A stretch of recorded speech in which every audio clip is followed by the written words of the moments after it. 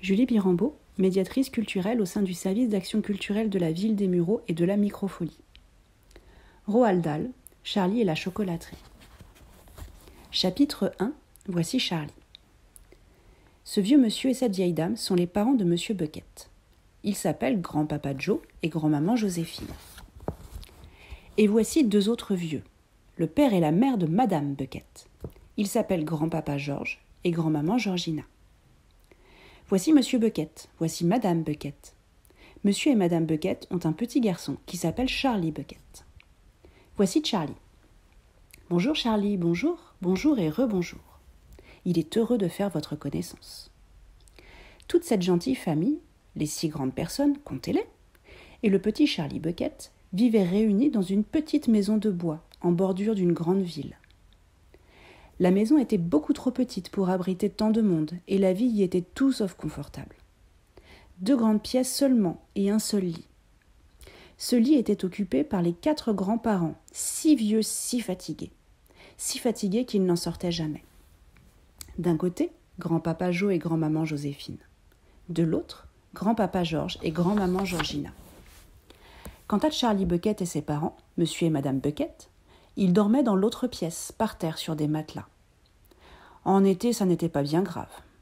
Mais en hiver, des courants d'air glacés balayaient le sol toute la nuit. Et cela, c'était effrayant. Pas question d'acheter une maison plus confortable, ni même un autre lit. Ils étaient bien trop pauvres pour cela. Monsieur Bucket était le seul, dans cette famille, à avoir un emploi.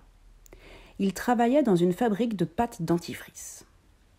Assis sur un banc, il passait ses journées à visser les petits capuchons sur les tubes de dentifrice. Mais un visseur de capuchons sur tubes de dentifrice est toujours très mal payé. Et le pauvre monsieur Bucket avait beau travailler très dur et visser ses capuchons à toute vitesse, il ne parvenait jamais à gagner assez d'argent pour acheter seulement la moitié de ce qui aurait été indispensable à une si nombreuse famille. Pas même assez pour nourrir convenablement tout ce petit monde.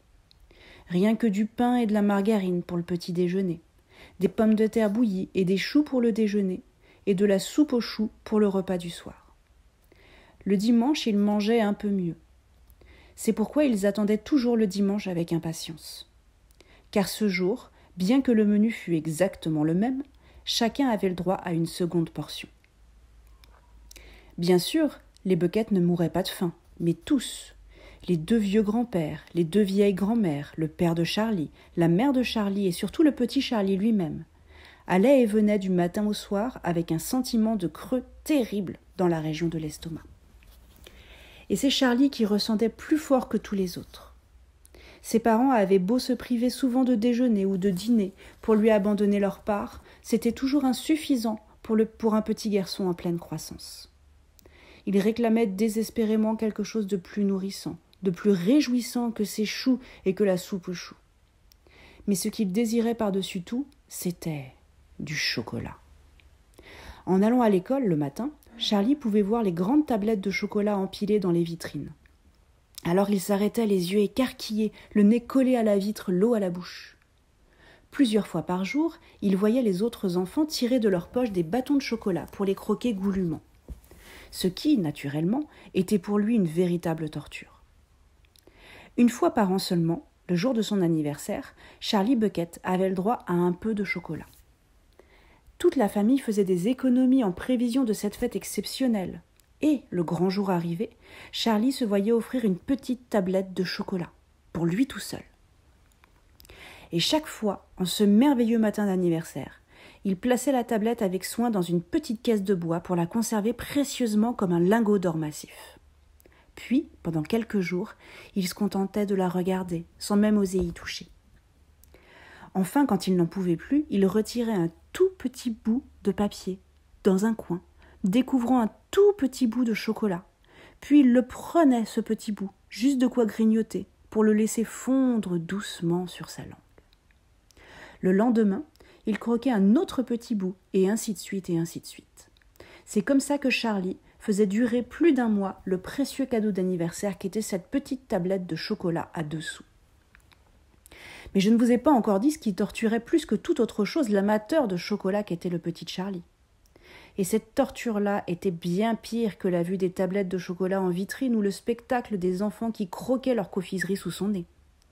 Vous n'imaginerez pas de plus monstrueux supplice. Dans la ville même, bien visible depuis la maison où habitait Charlie, se trouvait une énorme chocolaterie. Imaginez un peu. Ce n'était même pas une chocolaterie ordinaire, c'était la plus importante et la plus célèbre du monde entier. C'était la chocolaterie Wonka, propriété d'un dénommé Monsieur Willy Wonka, le plus grand inventeur et fabricant de chocolat de tous les temps.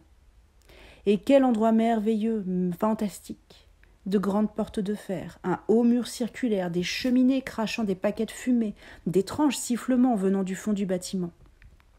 Et dehors, tout autour, dans un secteur de près d'un kilomètre, l'air embaumait d'un riche et capiteux parfum de chocolat fondant. Deux fois par jour sur le chemin de l'école, puis au retour, le petit Charlie Bucket passait devant les portes de la chocolaterie. Et chaque fois, il se mettait à marcher très, très lentement, le nez en l'air, pour mieux respirer cette délicieuse odeur de chocolat qui flottait autour de lui. Oh, comme il aimait cette odeur. Et comme il rêvait de faire un tour à l'intérieur de la chocolaterie pour voir à quoi elle ressemblait.